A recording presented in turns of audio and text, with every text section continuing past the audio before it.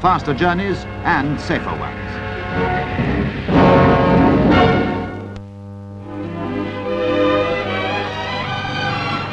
163 cars had entered for the RAC rally and some 2,200 miles had to be covered from the north of Scotland to the south of England. But it's on the 400 miles of special stages that the pace really hots up and the Swedish entries were soon leading the field. Tom Trana's Volvo, number 29. On the public roads, they shouldn't exceed an average of 30. On the closed circuits, it's every man for himself.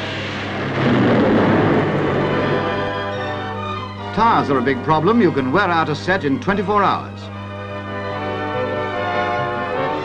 Just ask Pat Moss, Mrs. Carlsson, who looked a strong hope for the ladies' prize.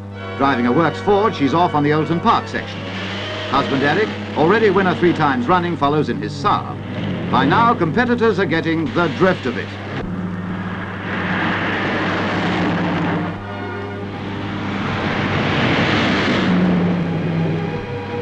Adrift goes adrift for Paddy Hopkirk and his Mini Cooper. Paddy was a strong contender all the way.